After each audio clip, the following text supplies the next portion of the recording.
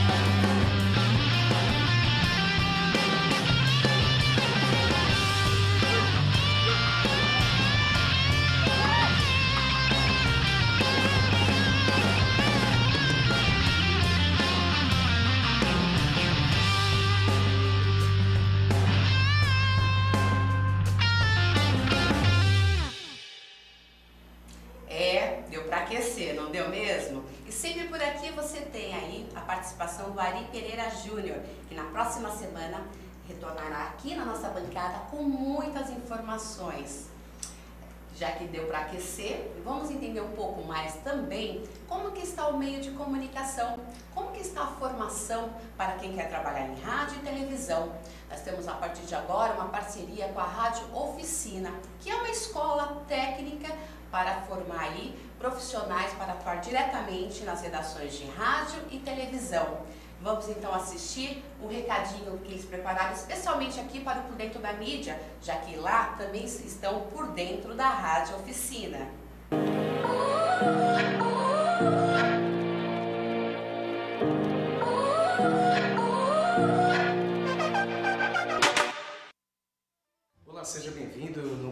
Dentro da Rádio Oficina aqui no UOL TV. Hoje eu vou falar para você um pouquinho de como é que funcionam as estruturas, os estúdios, os cursos que nós abrangemos aqui dentro da Rádio Oficina.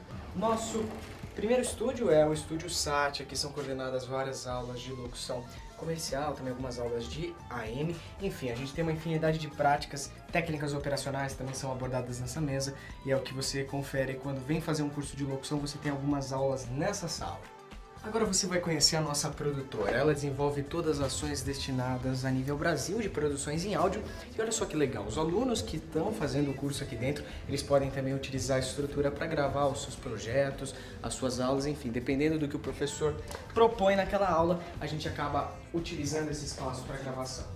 É, nós temos mesas digitais, enfim, o aluno ele consegue trabalhar com plataformas atuais de última geração e como vocês podem ver, a gente tem também uma cabine de áudio. Essa cabine vai ser responsável por todas as gravações da escola, inclusive a gravação dos conteúdos que são feitos para o EAD, enfim, para todo o nosso sistema de ensino. E o próximo estúdio que vocês vão conhecer é o estúdio de gravação de televisão. Esse estúdio, para quem faz operador de câmera, curso de operador de câmera, como você que está me vendo aí, tem um cinegrafista operando para mim. Exatamente. É, quem faz esse tipo de curso, ele exige um estúdio de TV, né, para que você possa treinar, enfim, fazer as suas aplicações. É o que vocês podem ver nesse estúdio aqui. A gente tem a utilização do Chroma, que é esse estúdio virtual, ou seja, a tela verde, né? Quando você tem essa tela verde, você consegue recortar e colocar qualquer coisa ao fundo. Por exemplo, tá vendo aí? Você tá vendo a aplicação do Chroma é, na rotina de um cinegrafista ou de um produtor. O próximo ambiente que a gente vai conhecer é o estúdio de pós-produção. Para você que não conhece o que é pós-produção, é tudo que é feito depois da produção, ou seja, da gravação, da captação. Isso engloba tanto áudio e vídeo. Vai ser feita exatamente a edição dos conteúdos. Então, para você que trabalha com sonoplastia, a gente tem a masterização, que é o tratamento do áudio. E quem trabalha com vídeo precisa também editar. Esse vídeo que você está vendo, ele está todo editado, todo tratado, enfim. São feitas em ilhas como essa aqui, que os nossos alunos de sonoplastia também é operador de VT, né, editor de VT, perdão, eles podem utilizar e usufruir para o seu aprendizado, enfim, para desenvolver as suas atividades aqui. Próximo ambiente que vocês vão conhecer é o nosso mais novo estúdio, que é o estúdio da rádio. O estúdio da rádio é uma comunitária que opera aqui na região do Ipiranga, Vila Monumento, Aclimação, e ele vai operar exatamente em 87.5 MHz de São Paulo. A gente tem essa ferramenta que serve para o aluno, enfim, ele trabalhar, ele também poder estagiar depois do término do curso, e é que você confere aqui agora, aqui no, por dentro da rádio oficina no AltV. Vocês podem ver, esse é o mais novo estúdio nosso. É um estúdio totalmente é, semelhante a um de mercado, com tecnologia, infraestrutura, softwares de automação para vocês poderem usufruir depois como estágio, é, depois do término do curso. Então isso é muito interessante, é uma ferramenta para os alunos de locução bem legal.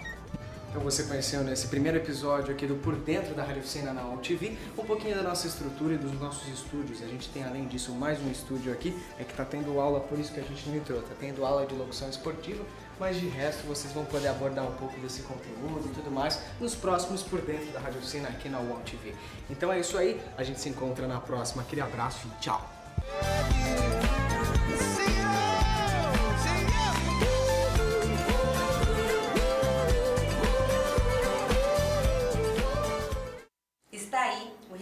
Da Rádio Oficina, que a partir de agora também tem agora um espaço para trazer para você todos os detalhes aí de como também ficar mais profissional entender quais são essas tendências e essas transformações que ocorrem mesmo nas redações, já que cada vez mais nós, como profissionais, precisamos da reciclagem e também temos aí a oportunidade de seguir uma outra profissão.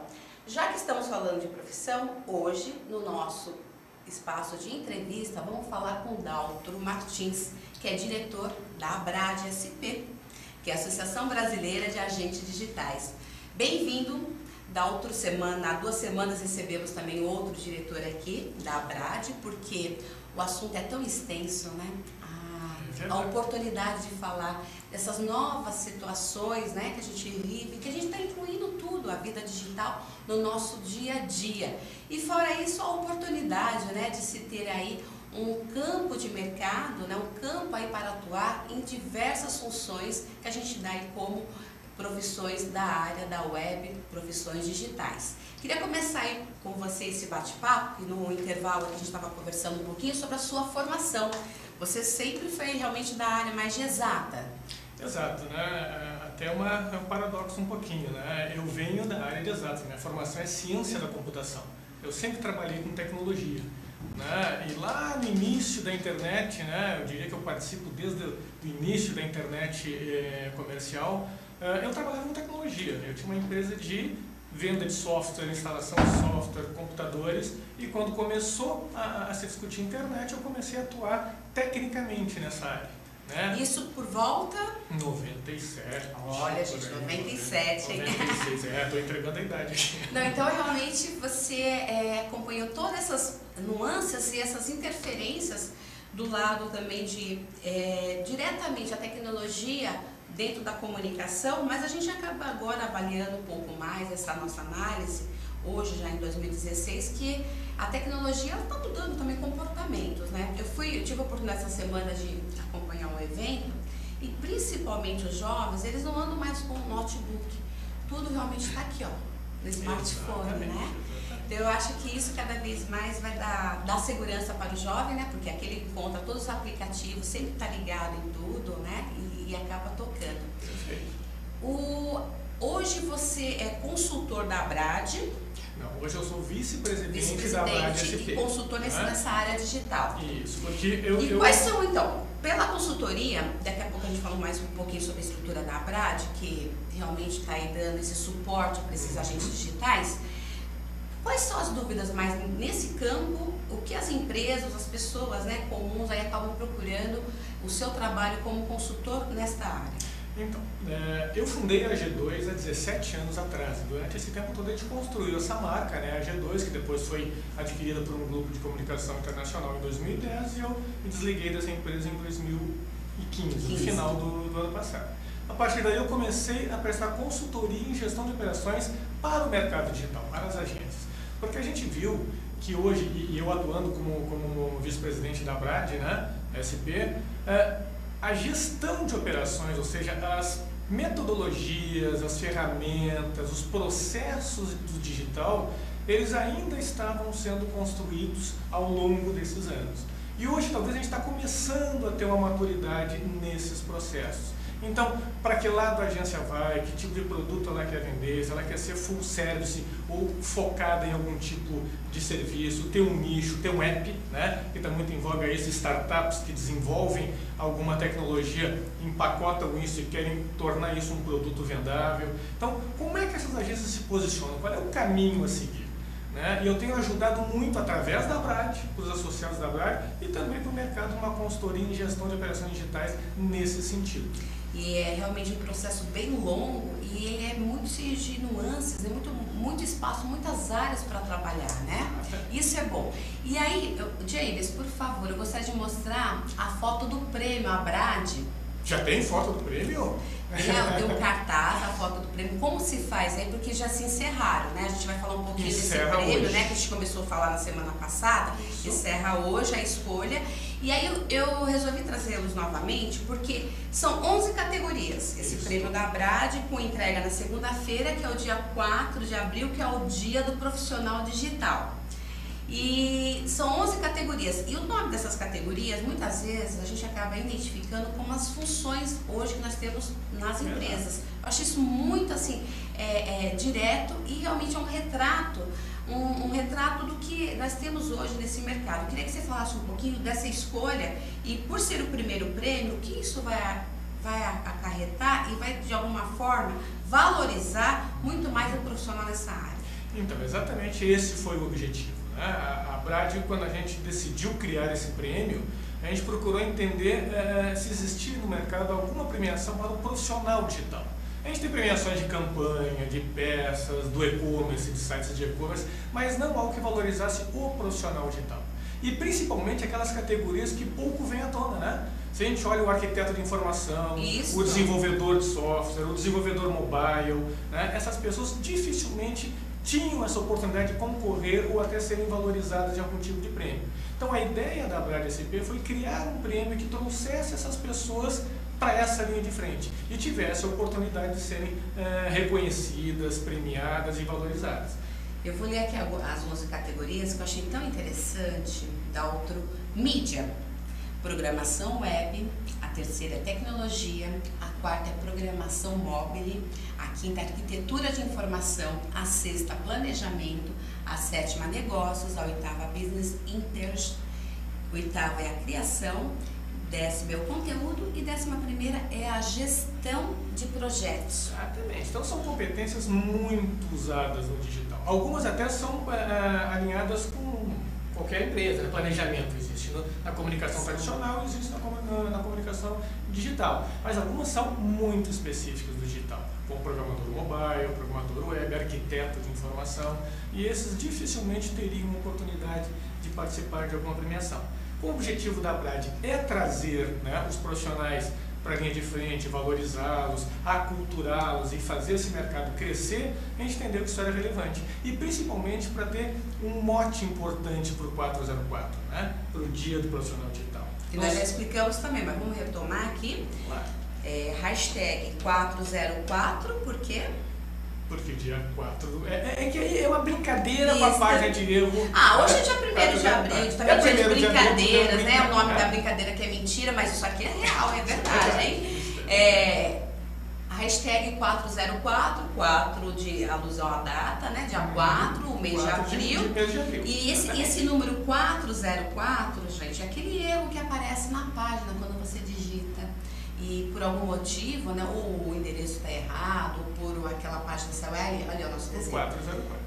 Você já viu isso por aí. É, bastante engraçado que esse 404, que antes Muito era uma bom. página de erro, hoje a comunicação usa como uma área de mídia. Que né? interessante. A gente pode né? utilizar, em vez de trazer uma mensagem de erro, trazer uma informação para o usuário. Em, algum, em algumas campanhas de mídia a gente acaba utilizando isso. E Dalton, já deu para avaliar muita participação, muita adesão? Porque eu votei, facinho, muito, facinho. Muito. Entrei lá no site, a divulgação, muito boa a divulgação pela rede social, fiz ali o cadastro, ali, gente, detalhes, né? Esse é, é o primeir, a primeira edição, ela é anual, né? Vai com esse objetivo para isso. E na segunda-feira, na noite de segunda-feira, vamos realmente conhecer os, vencedores. Vencedores desse prime dessa primeira edição. E o bacana é que é voto popular, né? Então Muito o mercado bem. escolhe né? quem é, quem é o, o vencedor. E na segunda-feira a gente entrega um troféu que ele é personalizado. Né? Para cada categoria ele vai ter um detalhe diferente está sendo feito uma artista plástica parceira da, da Brad SP. E hoje a Brad, ela tem essa, esse know-how, ela está estruturada para atender essas agências no meio digital. Sim. Ela, a, Brad hoje, ela fomenta cultura, né, informação, então ela tem um calendário de eventos e treinamentos para os associados e para o mercado, além de dar consultoria, né, que a gente chama de speed consult que são exatamente essas consultorias eh, em gestão de operações, em finanças, em, em, em jurídico, para que as agências possam ter informação qualificada com especialistas de mercado gratuitamente através da associação. Então, o nosso trabalho é fazer esse, esse mercado crescer e se aculturar. Eu já quero aproveitar aqui para informar que a partir da próxima semana nós vamos sempre receber aqui um desses vencedores, já para contar sua experiência e como está atuando nesse mercado digital. Então, por aqui você vai acompanhar tudo. E se você tiver mais interesse, né, quiser se aprofundar, vai mandando já as mensagens por aqui. Eu quero convidar também o Daltro, a partir de agora. A gente também temos agora mais um canal de comunicação, que é o que está acontecendo, é o, é o momento, né, a rede mais é, utilizada, principalmente aí pela é, garotada, né, e isso foi importante também detectar no evento que eu participei essa semana, que nessa semana, nas próximas semanas vocês também vão acompanhar todo o material que foi coletado, entrevista com o YouTube, com o IG, com o, o, o Twitter, outras agências também aí de, de comunicação e comunicação digital. Mas o que me chamou a atenção foi justamente essa febre, né, como eles dão o nome agora, dos influenciadores, que hoje eles estão cada vez mais buscando outras, outros caminhos de comunicação. E também aderi ao Snapchat. E hoje eu comecei logo cedo aqui com o Daltro, Já comecei na maquiagem, fiz tudo, porque é, quem ainda não tem detalhes, né? O James pode mostrar aí as imagens do Snapchat, que a gente pode explicar um pouco mais. Você faz o, abaixa pelo celular, né? Abaixa o aplicativo. Essa é minha filha que eu quis deixar e que foi ela que me influenciou. a influenciadora, né? É, gente, é, os influenciadores é, trazendo Esse é o nosso do Por Dentro da Mídia. Você vai achar o Por Dentro da Mídia como Ana Ciana. Ana Ciana. Foi uma mistura lá, uma ideia da minha filha. Falei, ela chamando a Carolina, falei, então vamos com essa. E é uma forma de você contar em 24 horas, né? Que é o tempo que você pode determinar, por fotos e vídeos coisas aí do seu dia a dia. É uma forma de voltar à comunicação, né? Dalton, muito mais restrita, né, para esse público, né? Isso, esse, ele é mais restrito, é... Ele, ele, não é perene, ele, ele, depois ele acaba, ele, né? Isso, isso não, então te dá mais atenção, né? Mas existem N canais hoje e, eu acho que isso é bacana. E lá nesse bate-papo que eu tive na, nessa semana no evento que eu fui, a preocupação já do Facebook, porque as pessoas pararam de postar vídeos e fotos, diminuiu realmente a, a, o tráfego dessas informações no Facebook por conta justamente Começa a ter outros canais né? mais cool, né? mais bacana, mais da garotada. Isso acaba gerando outro, mas isso é bom, isso para o mercado é ótimo. Então você está convidado, o diretor está me pedindo aqui já para fazer, porque as pessoas estão acompanhando. Diretor, James, eu vou ficar aqui, tô aposta, vou começar aqui o meu, aí, é outras pessoas chamando, isso é bom, né? Programa ao vivo, né? Estamos aqui, vou levantar. Vocês conhecem aqui o giro 360 graus do nosso estúdio Aí. ao Dalton. Ouviram, né? Então acabei mandando aqui para Isso é a rede social. E acho que a internet, né? o interessante é que ela propicia esse tipo de interatividade, né? Porque ela é uma mão de dois, duas vias. Ela vai e tu recebe a informação. Então isso faz a coisa fluir muito mais legal. Bacana. Então, como avisei, daqui, as próximas edições do Por Dentro da Mídia, sempre teremos aqui essa continuidade desse bate-papo sobre as profissões digitais. Vamos aproveitar aí esse trabalho aí realizado pelo, nessa primeira edição do Prêmio Abrade, com premiação na segunda-feira, e para realmente conhecer esses premiados e conhecer a fundo a carreira deles e valorizar, e eles darem as dicas de como seguir aí no mercado.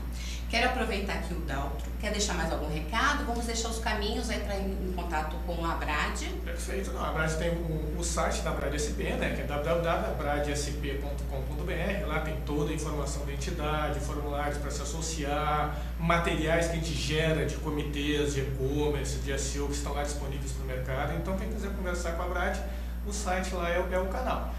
Né? E esse prêmio, eu acho que é a primeira edição, e ele foi muito bacana, uh, esse exercício né, que a gente fez, porque teve muito pouco tempo para fazer. Foi uma decisão ousada até da gente de organizar, colocar no ar e, entregar o prêmio nesse período, mas eu acho que ele valeu muito a pena, né, porque a gente, é, ele mostrou que realmente o mercado está carente, estava está. carente de alguma coisa desse tipo. A gente já está pensando para o ano que vem fazer algo mais amplo, né, envolvendo todas as entidades e não só a Brad SP, tornar esse prêmio verdadeiramente nacional, né? E aí trabalhar para o mercado crescer e os profissionais se valorizarem. Queria mostrar aqui, ó, estou muito feliz pela adesão. Eu comecei essa semana. Eu adoro esses experimentos, eu adoro realmente esse retorno que a gente acaba sentindo, é percebendo. Isso aqui é a comunicação, né, feita por meio digital, mas ela tem sentimentos, ela tem realmente ali a, a, o carinho, dá para perceber. Eu quero também te convidar agora para uma estreia aqui no Por Dentro da Mídia, que é um quadro gente foi buscar de uma forma para levar a você também arte, história e principalmente o design. Que hoje a gente fala um pouquinho muito mais do que design de comunicação, o design das páginas digitais, o de design de outras áreas, mas tudo passa mesmo pela nossa base, que é um desenho, como é, ver melhor uma tela, entender um pouco mais os filmes. Então, todas as artes aí reunidas levam também o design para o que a gente acaba utilizando também nos nossos equipamentos. E hoje eu tive a oportunidade aí de deixar pronto para vocês um material que vocês vão assistir agora, que é uma entrevista com um professor que é desenhista e trouxe para a gente no finalzinho. Vocês têm que ficar aí até o finalzinho, é curtinho. E o Daltro vai assistir por aqui e vai voltar nas próximas oportunidades. James, apresenta para nós agora, por dentro da mídia, arte e design. Bom, meu nome é André Tavares, eu sou professor da Universidade Federal de São Paulo, no curso de História da Arte. Eu sou também desenhista, ensino História da Arte e para mim o desenho é uma forma excepcional de comunicação, na medida em que ele não só representa às vezes o mundo externo, mas ele registra também as intenções da pessoa que desenha, né? Através das marcas que essa pessoa deixa no papel ou na superfície que ela está utilizando, enquanto faz o desenho, a gente consegue perceber as intenções que ela tem, às vezes a velocidade que o desenho, uh, que, que, que a ação de desenhar implicou, o tipo de pressão se essa pessoa, enfim, está mais nervosa, se ela está mais calma. Então, o desenho, além de um instrumento para o aperfeiçoamento artístico, ele é um veículo para que a gente entenda mesmo as razões ou as intenções que o artista tem durante o ato de desenhar. Ela é um instantâneo, então, do próprio ato de criação ah, e ela é também uma espécie de veículo que é compartilhado por todo mundo. Né? Enfim, eu sempre digo que todo mundo ou desenhou ou desenha, né? então é também um veículo que nos causa muita empatia e com o qual a gente tem um contato muito próximo. Como todo mundo já desenha, como todo mundo desenhou, significa que as crianças também hoje em dia desenham. Então, os lápis, embora, enfim, embora haja uma, um aparato tecnológico muito grande, essas mídias mais tradicionais, grafite, lápis, a canetinha, tinta, tudo isso sobrevive. Né? Então é como se fosse um mundo à parte né? e que depois a gente esquece de alguma medida. A gente não pode esquecer, né? e esses desenhos continuam uh, existindo, os artistas continuam desenhando. O que falta mesmo é um, uma espécie de espaço ou de oportunidade para que a gente chegue perto desses desenhos. Né? Então eu sempre digo também para que insistam, insistam sempre para que os museus, as galerias de arte, os próprios artistas invistam em mostrar e falar sobre o seu próprio desenho. Né? Então não é só, enfim, não, a tecnologia não matou essa, essa forma de expressão, ela continua existindo e elas convivem né, de alguma forma. É uma coisa que também a gente quase nunca vê e quase nunca tem oportunidade de discutir, é o fato de que, por exemplo, até hoje em dia se faz storyboard e se faz storyboard com desenho à mão. Né? Grandes cineastas, do, enfim, do século XX, agora do século XXI, começam seu raciocínio ou começam seu pensamento sobre a cena através de desenho. A gente tem sketches do Alfred Hitchcock, por exemplo, Stanley Kubrick, era um outro cineasta que trabalhava muito com desenho e muito provavelmente o desenho como essa forma unificadora né, com essa característica unificadora das artes que ele tem, ele está na base da, do princípio de composição visual. Ou se a gente quer esclarecer alguma coisa através do desenho, a gente faz aquele sketch, um esboço e dispõe já as formas sobre a superfície, isso já é um elemento comunicativo muito forte. Né? Então, a, o senso de composição, o senso de estruturação da cena, os planos, tudo isso pode aparecer num desenho, por mais simples que ele seja,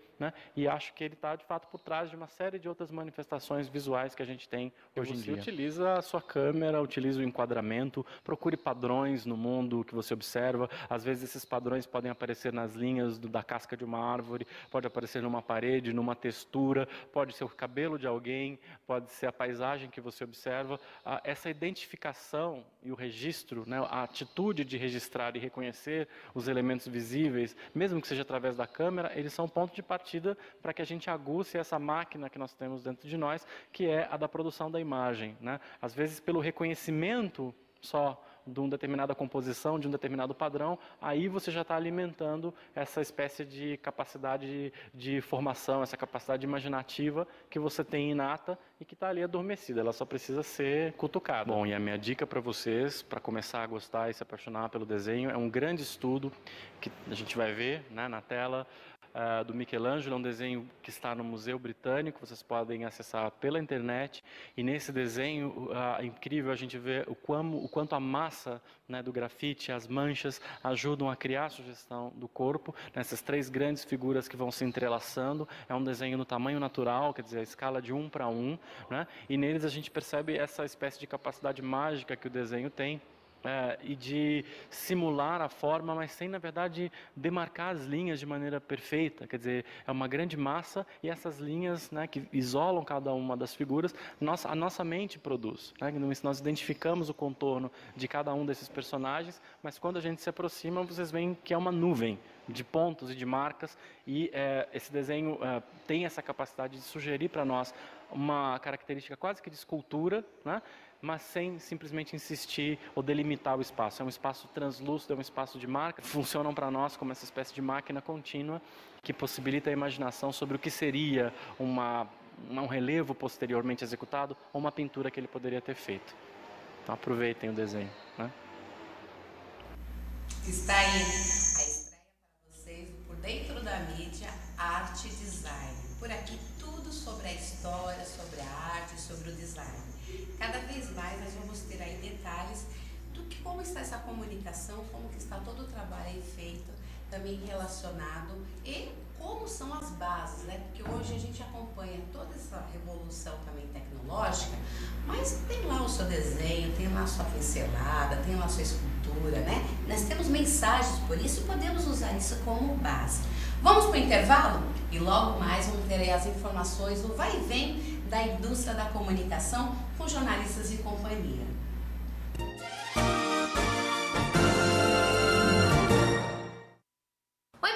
Tudo bem? Meu nome é Rafaela Bacic. Toda quarta-feira na UTV eu apresento o programa Dicas da Rafinha. E hoje eu tô aqui para falar para vocês que, em homenagem aos 14 anos da UTV, eles criaram o primeiro portal marketplace, que é o UTV Shop. O que, que é o UTV Shop? É uma grande oportunidade de você ser um empreendedor digital sem precisar gastar muito dinheiro. É só você entrar em outvshop.com.br, escolher o plano que você quer para montar a sua loja virtual e selecionar entre os mais de um milhão de produtos quais que você quer colocar na sua loja. Aí é só divulgar nas suas redes sociais e todo mundo que comprar ali pela sua lojinha, você ganha uma comissão em cima de cada produto. Então, é uma grande oportunidade para você ganhar um dinheirinho extra, para você ser um empreendedor sem precisar correr muitos riscos, porque você não precisa se preocupar com o fornecedor, que já são grandes nomes do mercado, parceiros da UTV Shop. Você só vai selecionar o produto, colocar na sua lojinha e divulgar nas suas redes sociais. Não precisa se preocupar com entrega também, porque os fornecedores já fazem tudo isso para você. Então,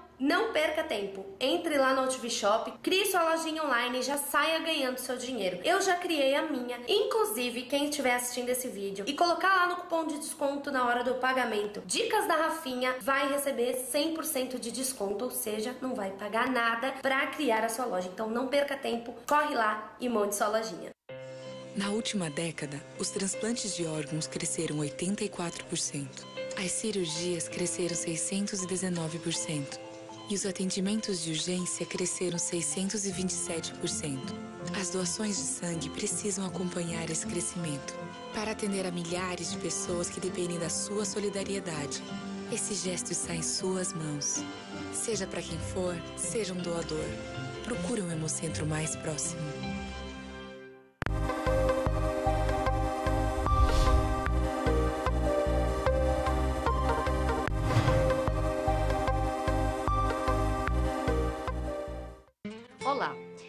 Aqui para tocar sua consciência.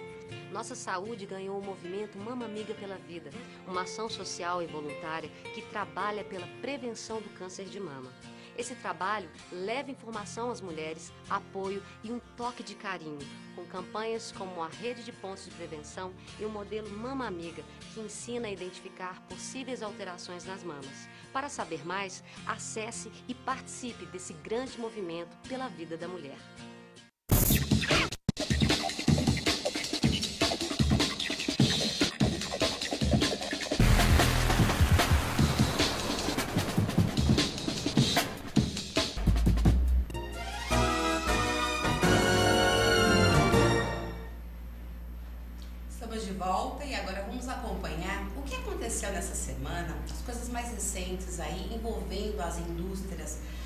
Também todos os meios de comunicação. Mas dois grupos dessa semana anunciaram mudanças que realmente aí vão ser percebidas devido ao momento também, tanto dentro das redações como político. As informações são do nosso colunista Eduardo Ribeiro. Olá, Luciane, amigos do Por Dentro da Mídia aqui na AltV. É, eu volto com as novidades do Jornalistas e Companhia sobre o mercado jornalístico após uma semana de folga que tivemos aí com a Semana Santa. E essa semana, Luciana, um dos destaques, aliás, o principal destaque Jornalistas e Companhia foi a mudança de ombudsmans da Folha de São Paulo. A Vera Guimarães, que estava no cargo há dois anos, saiu e para o lugar dela foi a Paula Cesarino Costa. Paula Cesarino, que é de São Paulo, mas estava no Rio de Janeiro, foi chefe da sucursal carioca do Rio de Janeiro é, durante um bom período, e ela agora então foi eleita pela, pela direção da Folha como a nova ombudsman e já assumiu no, no último domingo, inclusive foi ela que fez a coluna. Portanto, uma novidade importante, é um dos únicos jornais é, do Brasil que tem esse cargo, tem também o Povo do Ceará, mas o de maior expressão efetivamente é a Folha de São Paulo. Mas eu queria também trazer para você, Luciano, em primeira mão, é, porque isso não foi nem notícia nos jornalistas de companhia, já que aconteceu depois que a gente circulou, que é uma nova mudança na Editora Abril.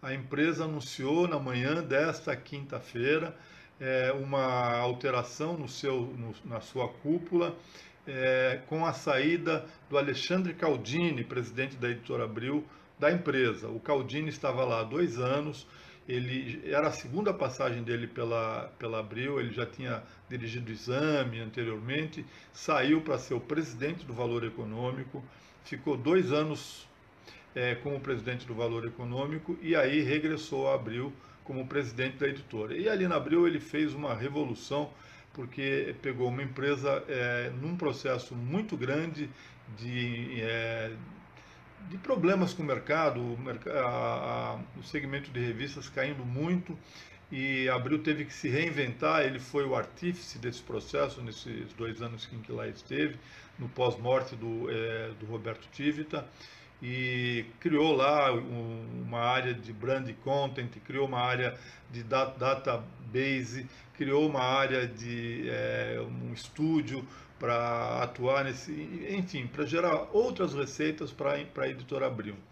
É, e fez esse papel, só que abriu algumas semanas, contratou Walter Thompson como presidente do grupo.